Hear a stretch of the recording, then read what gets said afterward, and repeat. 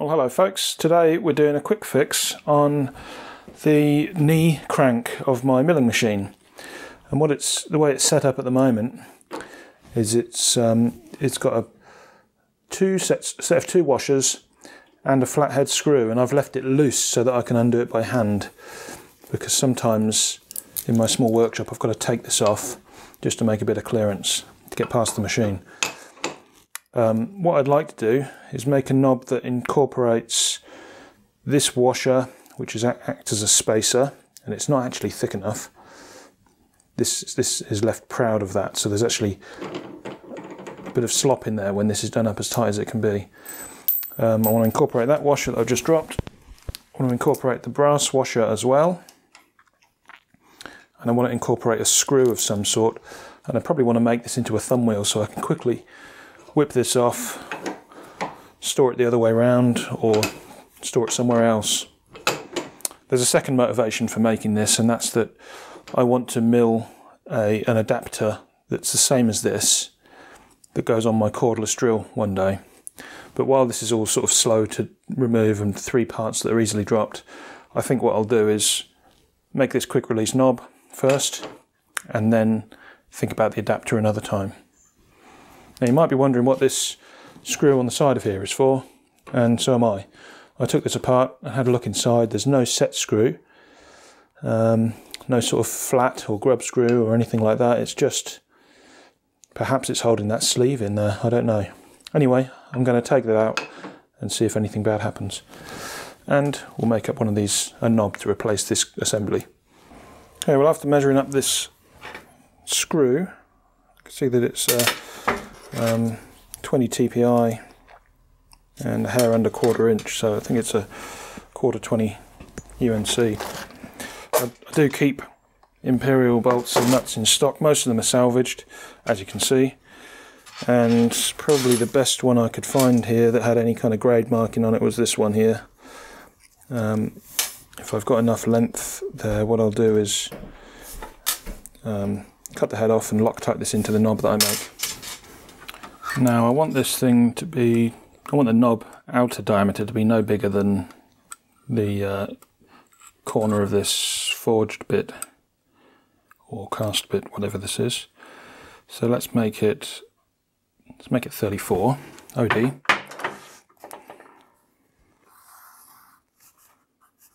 That's a terrible circle, but the lathe will make a nice circle for me. Um, I'll probably do flutes around the edge. Don't know how many. I'll just work that out later. Um, I think the outside of this knob is just going to be a flat, flat face. I probably want a recessed area just to make it easier on the fingers. Um, and I also, of course, want some clearance for the shaft that comes through so that this is actually bearing down. So this knob actually bears on this face and actually closes up these tapers. That's something the current arrangement doesn't do properly. If I put a thicker washer in it would do, but it's still a pain to use. So these are tapered, so they're meant to be pulled in tight so that they can eliminate all the play, which makes making small measurement, small adjustments really easy then. So how big does that have to be? That's measuring 17.5. So if I make this 18, that gives a bit of clearance. Um, there's no point making this bit any bigger than this bearing area, bearing diameter. So that's that could be 25.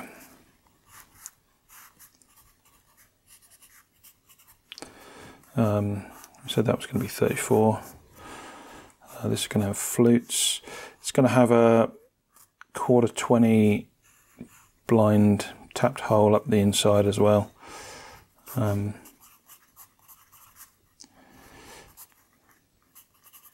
whoops.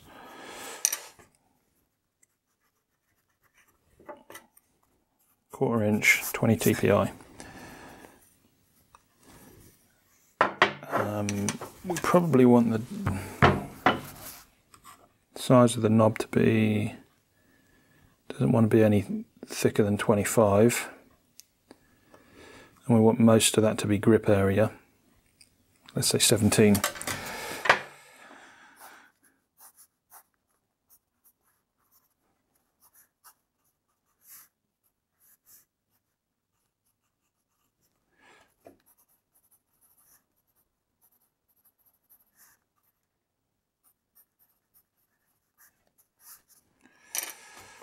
Um, that should be enough to get started with. And my mate Jeff gave me a piece of steel yesterday that was kicking around and looks like it's big enough. So I'm going to take too much off of that to make it fit this. And it's long enough that I can get, grab hold of that in the chuck and still make a, a useful size piece from the end. 25 that's going to be, so yeah. Okay, over to the lathe. Well, this is that 20mm Mitutoyo indicator that I got, and I've got the new bezel on it, and all the shafts and everything around here is is nice and clean, and uh, it's working great. I'm not actually a fan of the spring adjust. I can't get a very consistent adjustment on here, so what I'm going to do is replace that rod with just a straight rod and use the dial for my adjustment. I've clocked in this piece of um, piece of bar stock as close as I need to. It's within three or four hundredths. It's not actually even round because it's been sheared off at the end, I think, and so there's a bit bit deformed. But I've got to take uh, four mil off the diameter of this anyway, so it makes no difference as long as I don't take it out of the chuck.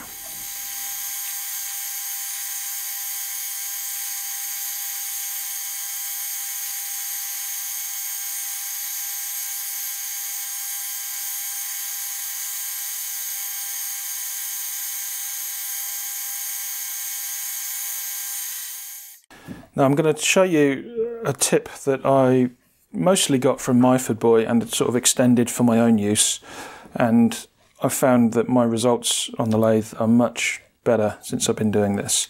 Much easier to find out how much to take off with each pass since I've been doing this trick. Most people set the um, calipers to zero and that's it. They work from there and that's that's how they that's how they work. And that way they're no better than a vernier caliper really. But these can be used a bit like a DRO. So um, I'm copying Myfordboy here. Just let me uh, let me reiterate that. So he's he shows this in one of his older videos, and I saw it and I thought it was genius. Dead simple, but in, unless you know to do it, you, you you're missing out. So I'm aiming. I've roughed this down. I know it's slightly oversized. I'm aiming for 34 millimeters exactly. I'm trying to work in metric and I've got an imperial lathe here. So that says 36.08 and so it's pretty easy in this case to do the mental arithmetic and say, well, there's 2.08 to come off the diameter. And so I need to take 1.04 off the um, radius. So I need to feed my tool in 1.04. Except I'm on a um, imperial lathe. So, you know, it's not too difficult to say, well, let's take 40 thou, which is about a millimetre, and then see what's left, that kind of thing. Well, you end up with, especially with carbide tools, you end up not being able to take that minimum cut at the end. So you have to feed it in a little bit more, and then you end up overcutting, and you don't hit your number at all.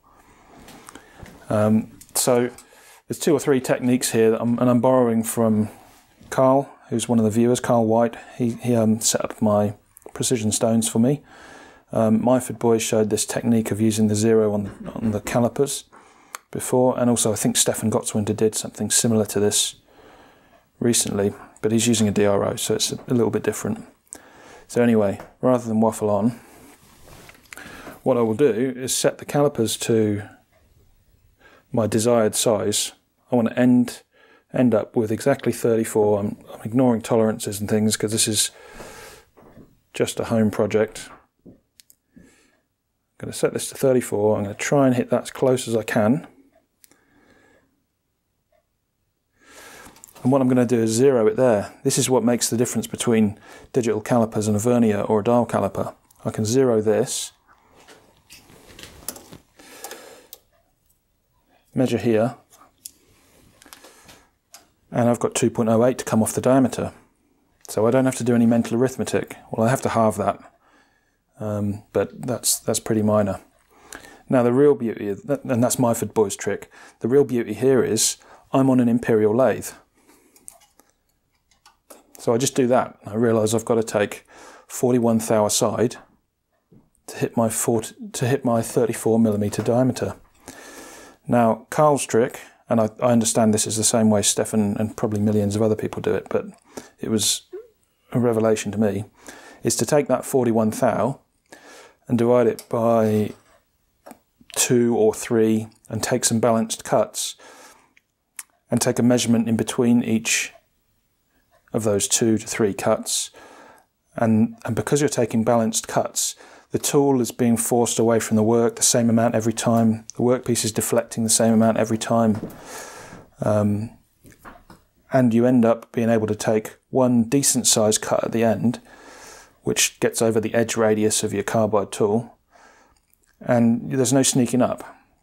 You, you're actually taking balanced cuts, and you take the last piece as a decent cut, which gives you a better finish, and all the rest. So, what have I got to take here? Uh, 41 thou aside is not divisible by 3 cleanly. So we'll take two 14s and a 13 and I'll sort of do this the slow, laborious way, and I'll take a measurement e between each cut and, and show you where we're at. So the first cut I'm going to take is 14 thou. I'm going to dial that in on the cross slide, and we'll go from there.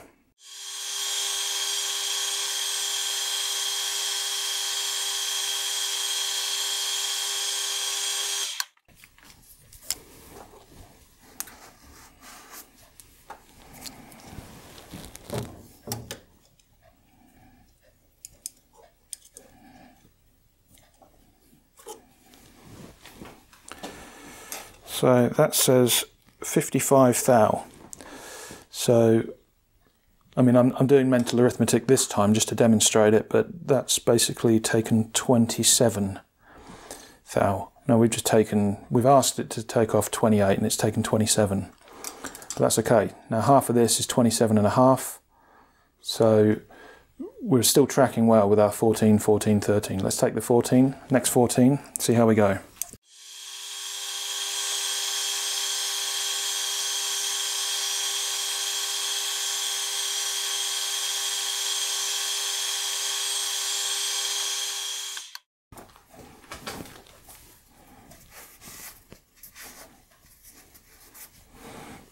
I'm not getting a particularly good finish on this because it's just mystery steel and I'm hand feeding this and it's an old it's an old insert and the insert is a cheap one to start with from Banggood so.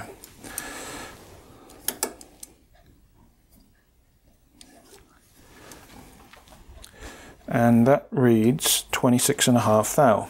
So we are trying to take we, we were setting it up to try and take 13 in the last cut and we now have to take 13 and a quarter.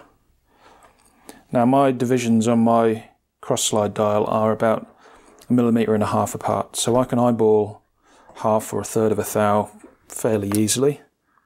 I'm going to give it a go to hit it on the dot. Um, so 13 and a quarter, I'm going to try and dial that in. But on every lathe I've seen, you can at least dial it into a thou. Um, let's give it a go.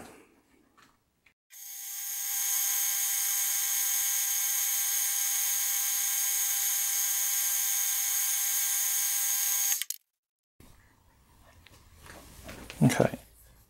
The finish actually looks worse than it feels. Um, but anyway,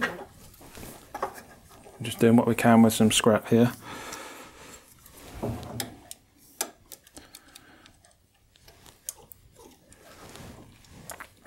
felt a bit loose.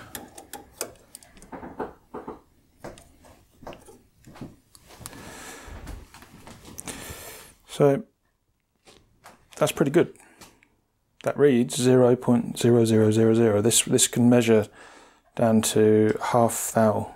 This this indicator, this caliper. Now I, I don't have a um,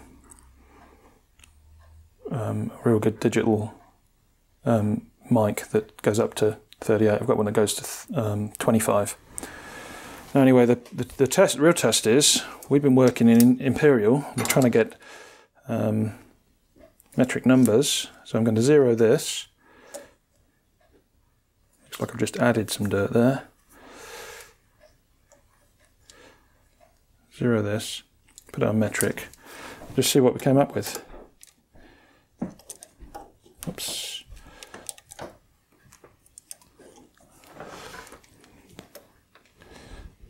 Thirty-four oh two. Let's have another go.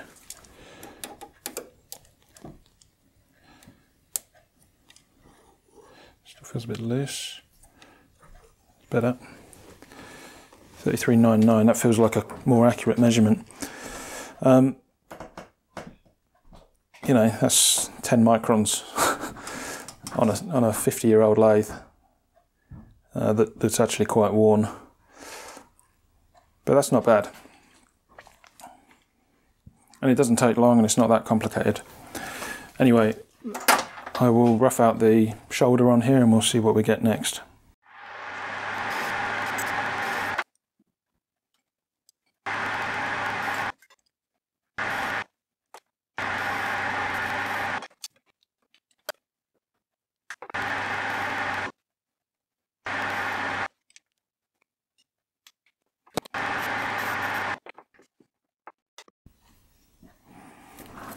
So this is a trick, I don't know where I got this from, but um, I'm stealing it unashamedly.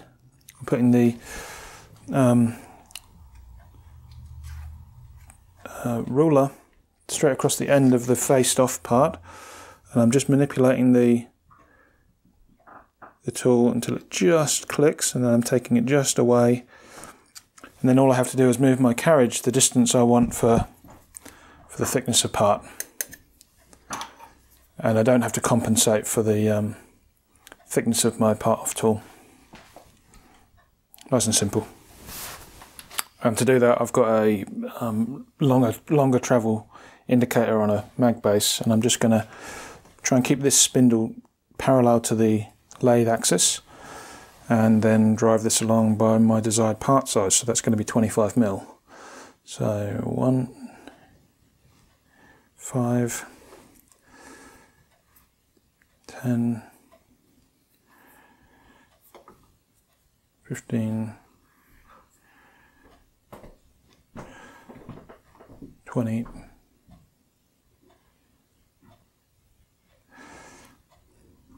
25. Lock off the carriage, remove the indicator.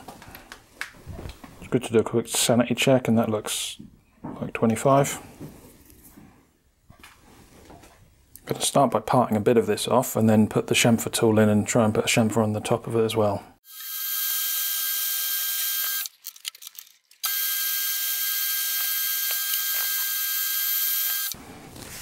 Actually, it'd be pretty dumb not to uh, drill and tap this quarter 20 while it's on the lathe. Quarter 20.201, which is a fraction under 1364, that'll be good. I'm putting the lathe in back gear. And I've done this tap up which is just a hand tap and it's not even in very good condition. So it's uh, you know not absolutely not ideal. But I've done it up by hand in the in the Jacobs chuck so this is gonna slip before anything bad happens and we'll just run this in and I'll take the um, clamp off the tailstock so it can pull itself in.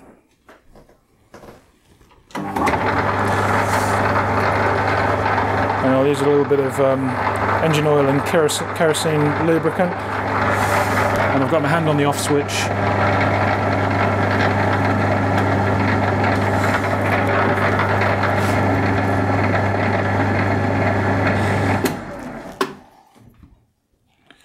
need a little bit more tension on that, not much.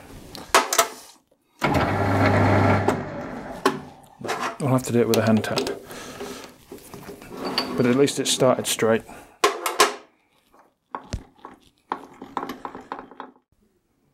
Also, before I part it off, I'm just going to hit this with a file quickly, just see if I can't get this uh, finish just slightly better. I mean, it is only mild steel, but so it was never going to turn beautifully, but just going to see if I can improve on that a little bit.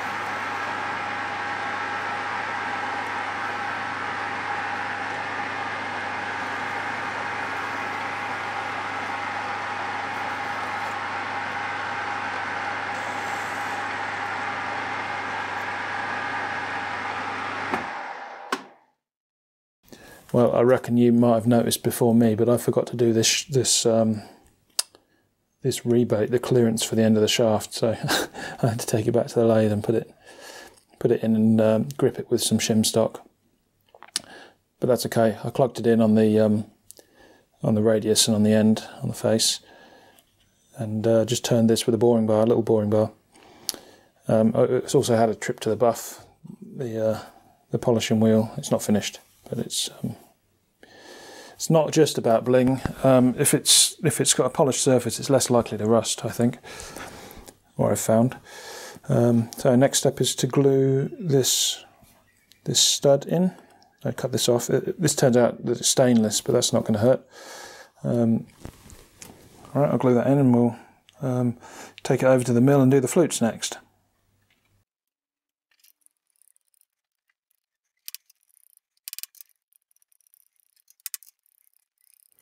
Okay, just a quick word about setup.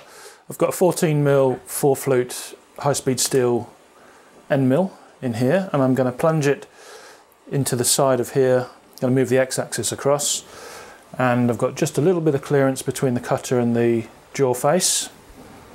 Um, I've got the main table set to zero degrees and this is set to zero and I'm just going to count off 18 turns.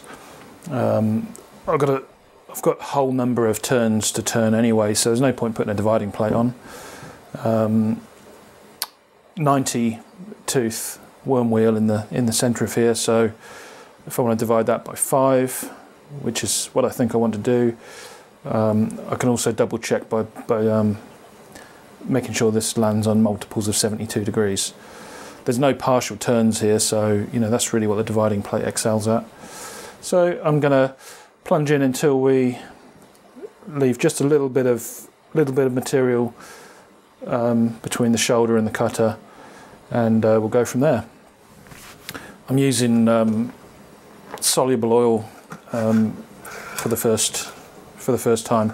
Or you know this is the first bottle I've made up of it. I've, I've been using it for the last couple of jobs and I really like it. Anyway um, let's get going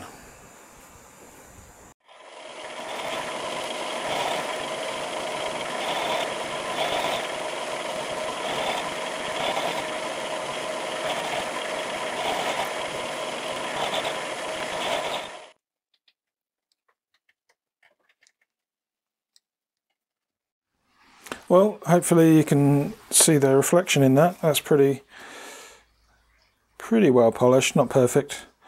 Uh, I've got the flutes in. I've got five. The way I work this out is I, I go from the um, circumference of the thing, um, circumference of the circle. I want about half the meat left, and so so the gaps are about the same size as the as the positives. And I think five is a nice number for these things because um, sort of I hold in a triple grip like that. Wherever I turn it, it sort of naturally falls like that. Um, so five is a really good number for that. And I think on a, after a bit of practice that something less than half a circle is good. Um, yeah. When I, when I did these little baby ones, um, on the indicator holder, I I um, I did full half circles, and I'm not so keen on that. I'd rather have fewer scallops of a bigger diameter that are not quite as deep as half a circle. Same on here. And I quite like the heavy chamfer as well. Um, that's come out really well. Let's go and try it on the mill. That's the play I'm talking about.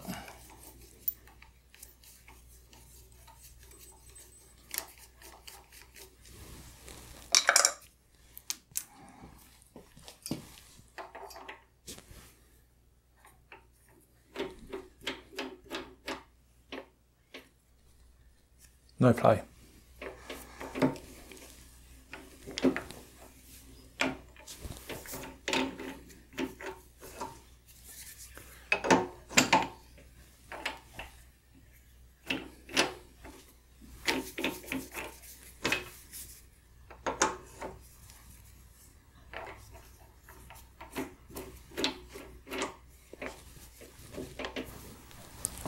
That shiny knob kind of looks a bit silly on an old um, old mill with uh, desperate need of a clean up and a repaint and all the rest, but it might inspire me to do some more to the rest. Oh yeah, one of the things I forgot to mention was that um, Gary Cude sent me a um, letter and some of his um, stickers for my sticker board. Now I still need to make a second sticker board. That hasn't happened yet, so these will be stored until I get that second board set up. But thank you, Gary. Um, much appreciated. And you'll see him on the channel in future. Okay, thanks everybody. See you next time.